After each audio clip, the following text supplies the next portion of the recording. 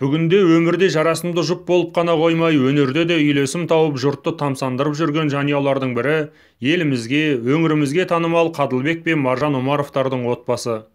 Ерлі зайыпты өнерпаздар қазақстан республикасы мәдениет саласының үздік атағын иеленген. Әміре қашаубайұлы атындағы облыстық филармонияда қызмет етіп келе жатқан жұбайлар балаларын да ән мен музыкаға баулып тәрбиелеп өсірген. 2005 жылы отбасылық ансамбльдің құрылуы соның бір көрінісі.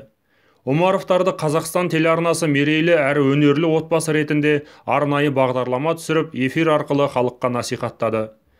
Көбінесе мына өнерде жүрген ә, немесе бізді танысын танымасын көп жерде бізді айтып жатады.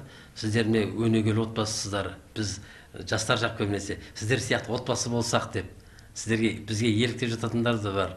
Мен соған қарап өзім ойлаймын.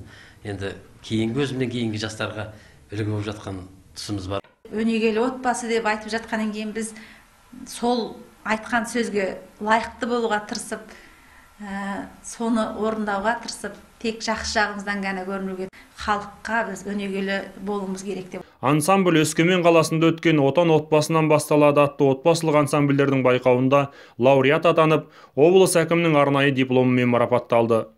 2013 жылы отбасылар күні мерекесіне арналған астана қаласында өткен гала концертке арнайы шақырылып өнер көрсетті.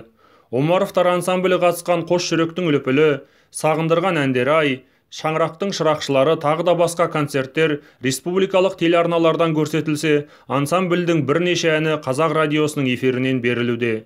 Репертуары отбасылық құндылықтарға арналған әндерден қазақ халық әндерінен қазақ халық композиторларының және жергілікті сазгерлердің туындыларынан тұрады.